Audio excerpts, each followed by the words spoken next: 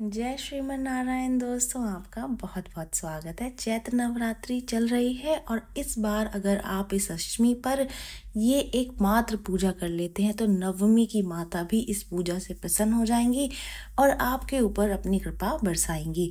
9 अप्रैल 2024 मंगलवार से चैत्र नवरात्रि का जो पर्व है, वो प्रारंभ हो गया है और 16 को अष्टमी और 17 को नवमी रहेगी। अष्टमी के दिन एक ऐसा मुहूर्त रहता है, जबकि अष्टमी और नवमी दोनों की पूजा एक साथ हो जाती है।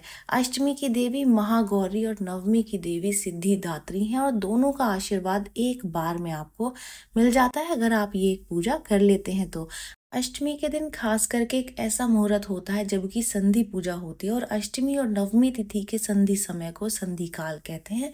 पौराणिक कथाओं में ये कहा गया है कि इस मुहूर्त में देवी चामुंडा चंड एवं मुंड नामक दो राक्षसों का वध करने के लिए प्रकट हुई थी। संधि पूजा का जो मुहूर्त है, वो ये है कि 16 अप्रैल मंगलवार को चैत्र संधि पूजा का जो मुहूर्त है, वो दोपहर बारह बजकर उनसठ मिनट से लेकर के एक बजकर सैंतालीस मिनट तक रहेगा। इस बीच में आप अपनी ये संधि पूजा कर सकते हैं। अष्टमी तिथि का जो प्रारंभ है, वो पंद्रह अप्रैल से ही हो जाएगा, जो कि दोपहर बारह बज के ग्यारह मिनट से होगा। और अष्टमी तिथि का समापन, जो उसकी समाप्ति है, वो सोलह अप्रैल को एक बजकर तेईस मिनट तक होगी। दोपहर तिथि, दिन, रात, पक्ष या अयन के मिलन को संधि कहते हैं। जैसे सूर्य अस्त हो जाता है, तब दिन और रात के बीच का जो समय होता है, उसको संध्या काल कहते हैं। उसी तरह जब एक तिथि समाप्त होकर के दूसरी तिथि प्रारंभ हो रही होती है, शुरू हो रही होती है तो उस काल को, उस समय को संधि कहते हैं। इसी काल में पूजा करने को संधि पूजा कहते हैं।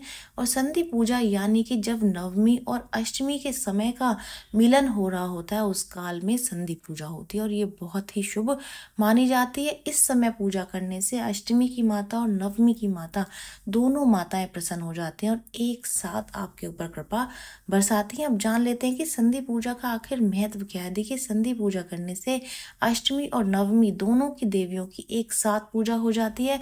इस पूजा का खास महत्व माना जाता है। माना जाता है कि इस काल में देवी दुर्गा ने सुर, चंड और मुंड का वध किया था। इसके बाद अगले दिन महिषासुर का वध किया था। संधि काल का जो समय है, वो दुर्गा पूजा और हवन के लिए सबसे ज़्यादा शुभ माना गया है। संधि काल का समय दुर्गा पूजा और हवन के लिए भी सबसे ज़्यादा शुभ इसलिए माना जाता है क्योंकि इस समय किया गया हवन सबसे ज़्यादा फलदायी होता है और इस काल में किया गया हवन और पूजा तुरंत ही फल देने वाला माना गया है। संधि पूजा के समय केला, ककड़ी, कद्दू और अन्य फल सब्जियों की बलि दी जाती है। संधि काल में 108 दीपक जला करके माता की वंदना और आराधना की जाती है। अगर आप 108 दीपक ना जला पाएँ तो सात ग्यारह दीपक भी आप जला सकते हैं 21 भी जला सकते हैं, लेकिन 108 इस संधि काल में दीपक जलाना बहुत ही शुभ माना जाता है। भगवती माँ गौरी की आराधना सभी मनोवांछित कामना को पूर्ण करने और भक्तों को अभय रूप सौंदर्य प्रदान करने वाली है। इसीलिए शरीर में उत्पन्न अनेक प्रकार के विष व्याधियों का अंत कर जीवन को सुख समृद्धि व आरोग्यता से पूर्ण करती है। इसी वजह से इस समय को यानी कि जो संधि पूजा का जो समय होता है, उसको बहुत ही शुभ माना जाता है। और ये समय एक ऐसा समय है, जब अगर आप पूजा करते हैं तो इस पूजा से अष्टमी, नवमी दोनों की माताएँ, दोनों देवियाँ प्रसन्न हो जाती हैं और आपके घर में सुख, शांति और समृद्धि का वास हमेशा के लिए कर देती हैं। ये जानकारी यहीं तक की उम्मीद है। दी गई जानकारी आपके काम आएगी और आप इसका लाभ उठाएँगे। जो लोग वीडियो देख रहे हैं, वीडियो को लाइक कर दीजिए, चैनल को सब्सक्राइब कर दें, नोटिफिकेशन बेल को दबाना बिल्कुल भी ना भूलें, क्योंकि यहाँ पर इस तरीके की महत्वपूर्ण जानकारियाँ मिलती रहती तो चलिए मिलते नई वीडियो में नई जानकारी के साथ। जय श्रीमन नारायण दोस्तों, जय श्री कृष्ण।